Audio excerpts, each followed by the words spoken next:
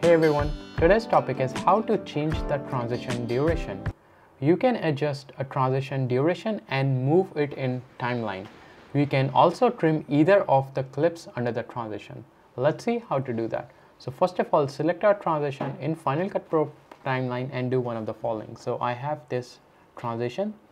So now if I have to change the duration, I can simply right click and click on duration and here I can just simply put like I can do 9 seconds I do this and I hit enter. And the other way to do is simply drag one end of transition away from the transition center to lengthen it or towards center to shorten it. So I'm going to do that. Either I'll drag towards right to shorter or left to make it more if you guys have any questions, please comment below and I'm gonna respond to that. Also stay tuned for more videos on Final Cut Pro. Thank you.